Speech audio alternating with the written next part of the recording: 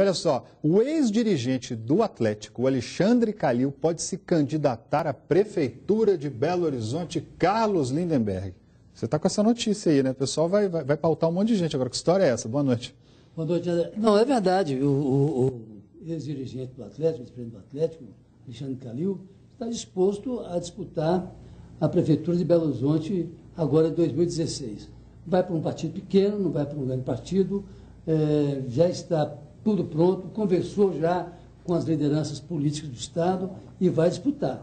E quem conhece Alexandre Calil sabe que ele entra para fazer barulho.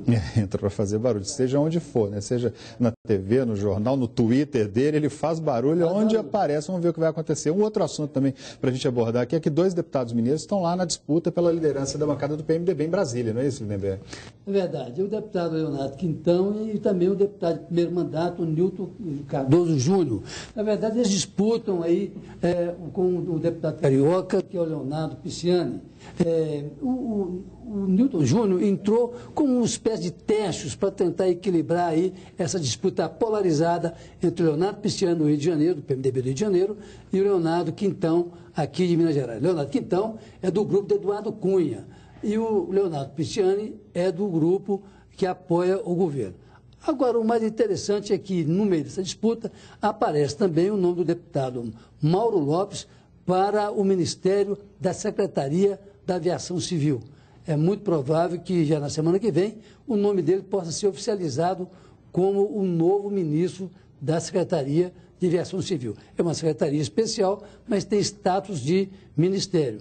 É, esse, esse cargo está sendo oferecido à bancada do PMDB. A tarefa do Mauro Lopes nessa questão é de pacificar o PMDB, sobretudo o PMDB mineiro, que tem seis deputados federais, e estão divididos, todos eles divididos.